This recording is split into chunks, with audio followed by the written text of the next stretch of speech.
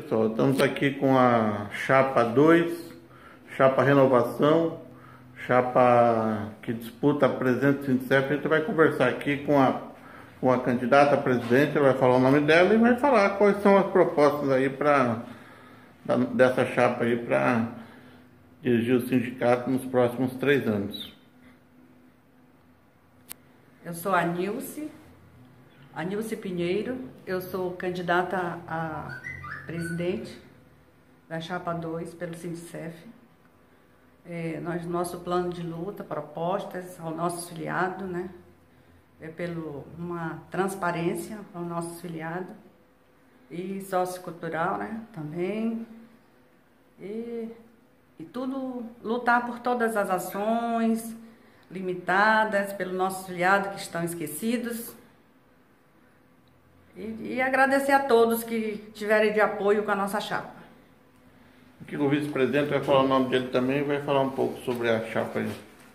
Eu sou candidato na chapa 2, é Renovação Sindicef, e pode acreditar nossos filiados. Eu sou Antônio Rosimar Tavares Ramos, e vice-presidente da chapa, a nossa proposta é, como a nossa presidente falou, é fazer a, a integração sociocultural de todos e o sindicato com a gestão de objetivo vai fazer a aproximação de todos.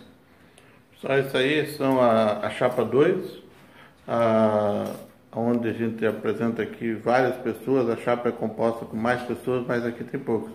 Também está aqui também o, mais um membro da chapa, vai falar um pouquinho sobre a chapa. Na realidade, essa nossa chapa, podemos considerar que seja a revolução dos humildes. É, a gente está propondo realmente democratizar mais o sindicalismo junto ao Sindicef, fazer com que os nossos filiados venham para dentro do Sindicef participar mais. Realmente a, nosso, o nosso, a nossa maior preocupação são os filiados, que estão à mercê né, de, do sindicato mais participativo já há muito tempo. E nós estamos realmente pedindo esse voto, pedindo o apoio de todos os nossos filiados que vote na Chapa 2, renovação, eleições, dia 23 de fevereiro de 2017. Pois é, isso aí foi um pouco da Chapa 2.